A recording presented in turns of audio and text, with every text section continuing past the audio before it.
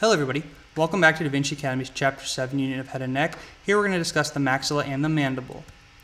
So the maxilla and the mandible are very unique shaped bones that pretty much have a, a unique shape all to themselves. So they are very important because they're primary bones for mastication, for phonation and speaking, as well as breathing. And it's also important because these are the only bones in the whole body that actually have an alveolar process where other bones actually reside in it, which are the teeth. And that's actually classically known as the maxilla mandible make up what we call, or quote unquote, the jaw. So first we're going to discuss the maxilla. So the maxilla appears to be one fused bone. However, it's actually a fusion of two different bones. They're both maxillary bones right here in the midline called at the mid-palatal suture. And if for any reason or embryogenesis or fetal development, if this fusion of the maxilla doesn't exist, this is how you end up getting cleft palate, cleft lip injuries or defects. Also, another important aspect of the maxilla is it has what is called the hard palate of the oral cavity. So the oral cavity has two, the hard and soft, and the maxilla is one of the main contributors for the hard palate. So while we're going to talk about the hard palate real quick, we'll also mention that the hard palate is also composed of another portion called the palatine bone right here. So this is the palatine bone, and this here is the maxilla. So when we talk about the maxilla, it's also important to talk about all the foramen that's associated with it. The first one being the incisive foramen. So the incisive foramen is this, this, uh, this communication point right located behind your two front teeth and maxillary central incisors right here. Um, and it's a communication site for both nerves and arteries. So the two nerves are communicating in this incisive current foramen include the greater palatine nerve and the nasopalatine nerve. The two arteries that actually communicate and form an anastomosis are the greater palatine artery from the oral cavity with the sphenopalatine artery from the nasal, nasal cavity. The other important maxillary foramen to talk about are the infraorbital foramen. So the infraorbital foramen over here to the right in red is actually uh, a foramen that's located about 6 to 10 millimeters from the, in, from the inferior orbital rim and actually allows for the passageway of the infraorbital vessels. Then you have the posterior superior alveolar canal, your PSA canal, and this is actually a communication entrance point for where the PSA nerve uh, will actually enter into the, the maxilla to provide innervation to the posterior region of the teeth.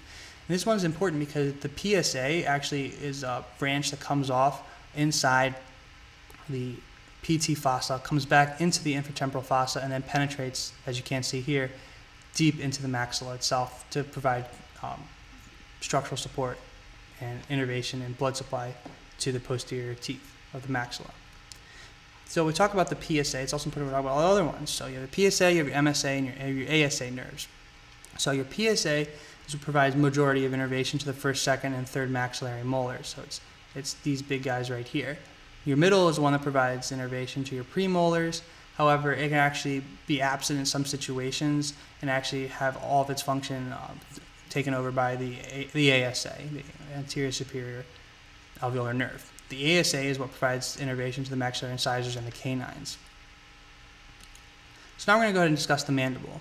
So the mandible is a very unique L-shaped bone um, that's actually important because it's the only point of articulation in the whole skull. It articulates with the cranium at a point called the temporomandibular joint, the TMJ.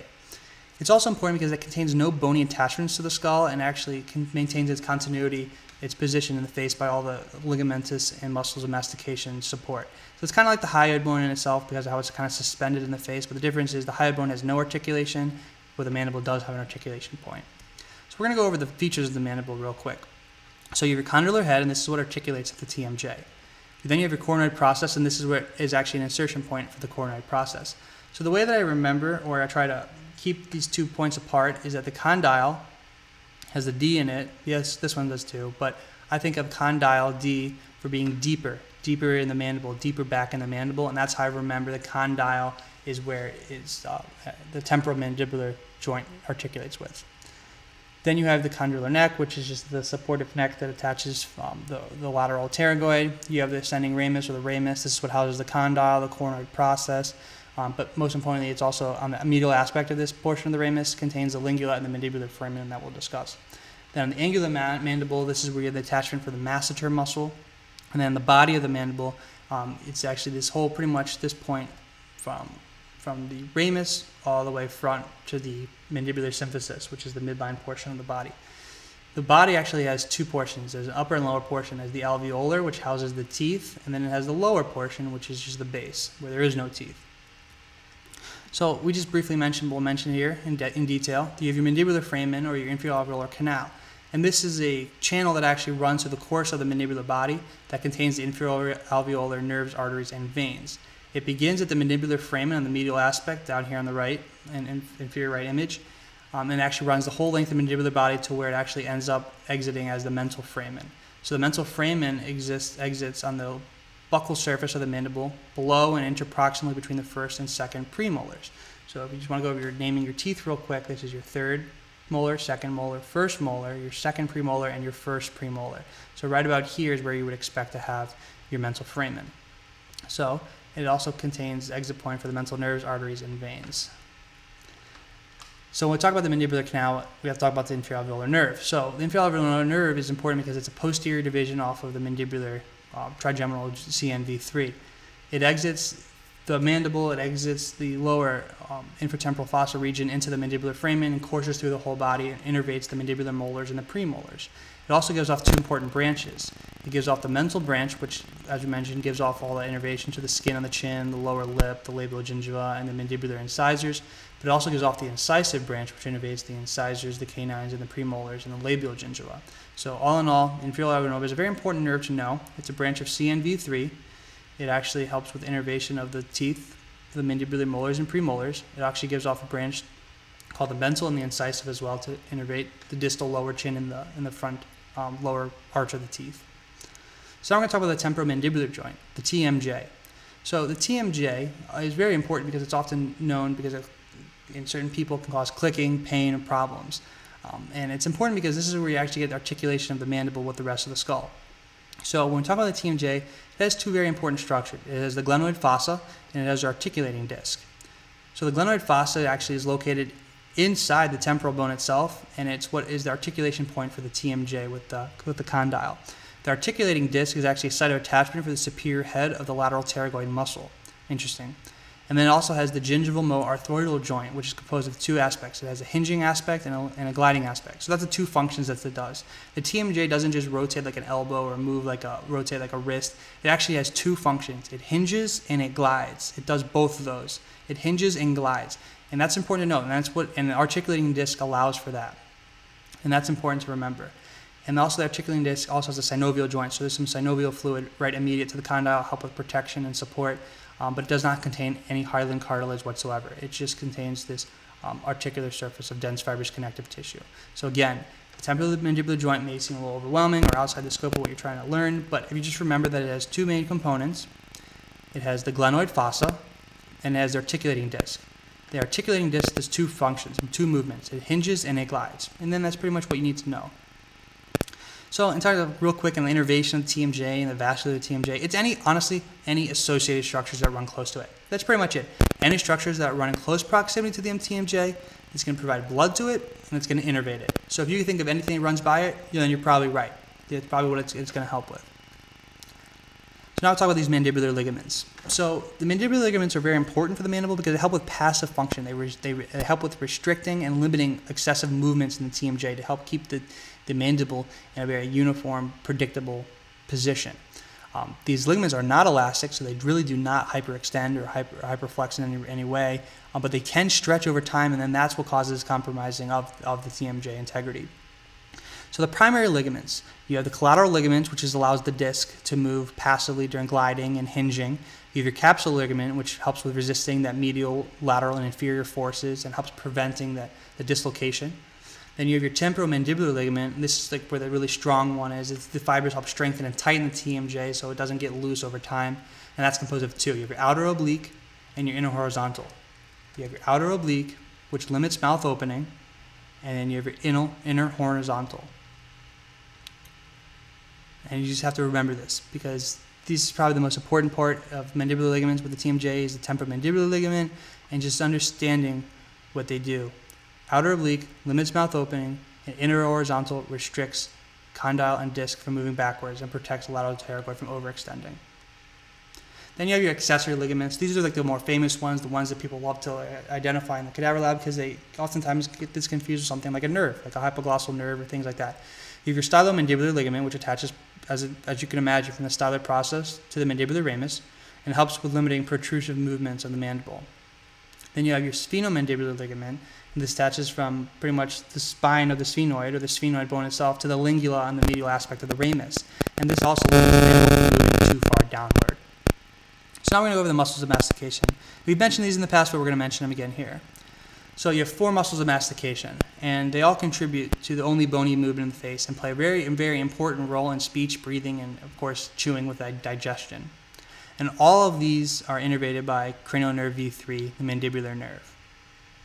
So here's a little chart. You can go over this again. There's some important hallmarks to take away from this. Again, all of these are innervated by V3, and they do important functions. So again, ones that have the M in the name are all the ones that are going to allow you to munch so help with elevation of the jaw.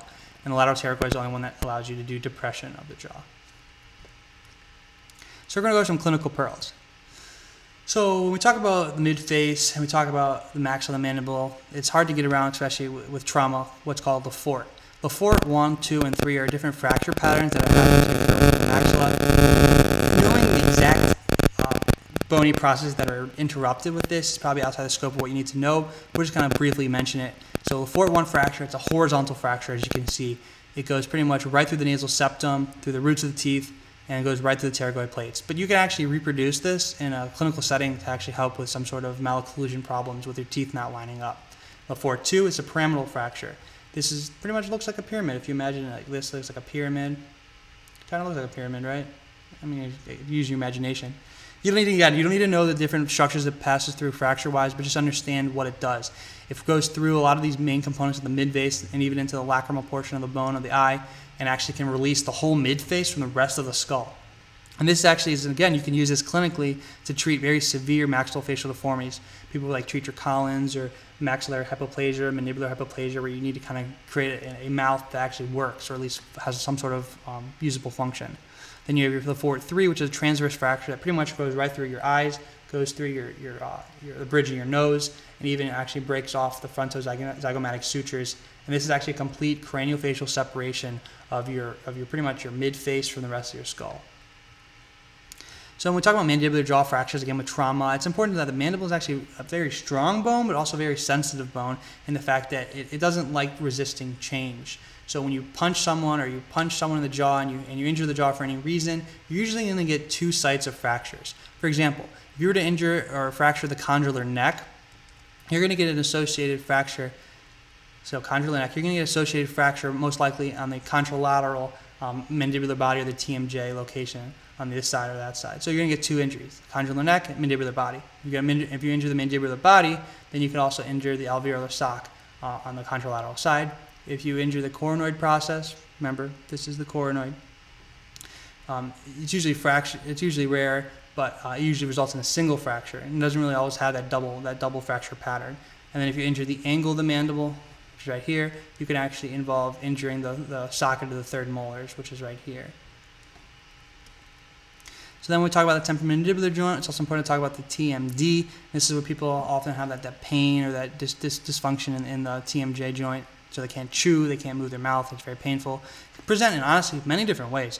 You can have myofascial pain, you can have spasms, um, you can have derangement of the TMJ, so the jaw starts locking up on you for, for no reason.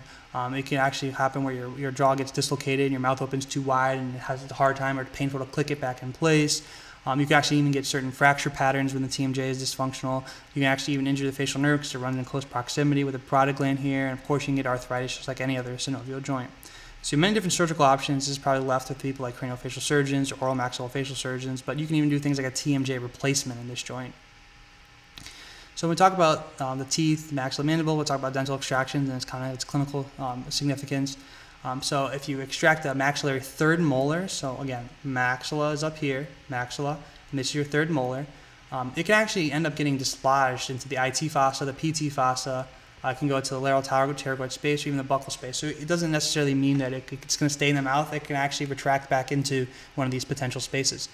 If you have extraction of the mandibular teeth um, or maxillary teeth, you can actually often even injure the maxillary sinus itself. Excuse sorry about that. That should be maxillary teeth. You can injure the maxillary sinus, perforate it, and cause some sort of maxillary sinusitis. When you extract the mandibular molars, you can actually damage the inferior alveolar nerve and the roots since they may run in close proximity right about here. And then if you extract the mandibular premolars, you can actually even dental, which are the, these are the premolars, you can actually damage the mental nerve as it's exiting right here, the mental mental foramen. So when we talk about the mandible and we talk about uh, the, the, the, teeth, we should also talk about alveolar bone reabsorption. So just like any other thing, when you, when you, no longer lose something or use something, you lose it, right? So when you no longer have your teeth to chew, to chew, you will lose that alveolar bone. The bone start to resorb. And what happens is a lot of actually changes will actually appear to happen with the mandible. Um, so the vertical dimension of the face will decrease. The mandible, mandible appears wider and longer. The maxilla will become shorter and narrower. If you actually think about it, about someone you know or someone you've seen when they have false teeth or they have no teeth, doesn't it seem like their maxilla is retracted back to their head, but for some reason their mandible has become so much bigger? That's because of the, the, of the, the alveolar bone reabsorption that's occurring. And actually, what's very often clinically tested is that when you have a significant reabsorption happening, you can actually get this mental foramen to actually become almost an, uh, an ectopic or, or uh, a strange location where the nerves are actually going to come out like this. So what happens when you put down a false teeth or a dental prosthesis, this actually will ride down right on this mental nerve and actually cause some sort of impingement or actually problems with the mental nerve right, right at that point. And that concludes this chapter on the maxillomandible. Mandible. Again, if you have to go back for any reason at all, feel free to go back, rewind, and take a look at anything you need a little bit more help with. Thank you again.